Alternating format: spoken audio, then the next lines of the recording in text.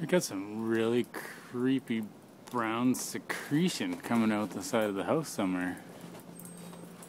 It's really hard to tell where exactly it's coming from, but it looks like it's coming from the attic or something.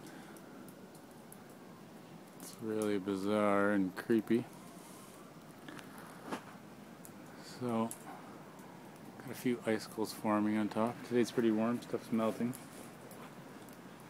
The neighbor doesn't have it on this side, but on the other side they do. Looks like they got the same problem there. Looks like it's coming from under the soffits. Theirs are actually collapsing. It's really weird. Pretty much the same problem there too.